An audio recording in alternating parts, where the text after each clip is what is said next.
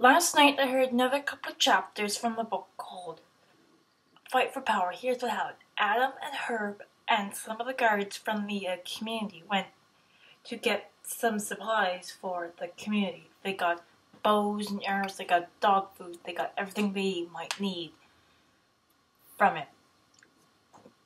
The guards were guarding the uh, entrance so nobody could enter or exit. Brett was there, of course, because he's an extremely trustworthy guy, even though Adam may not like him that much. He's extremely trustworthy. I would want him guarding me, even though he's not a very friendly guy. It was really quite interesting to hear. I really can't wait to hear something like I really don't know what's to happen next.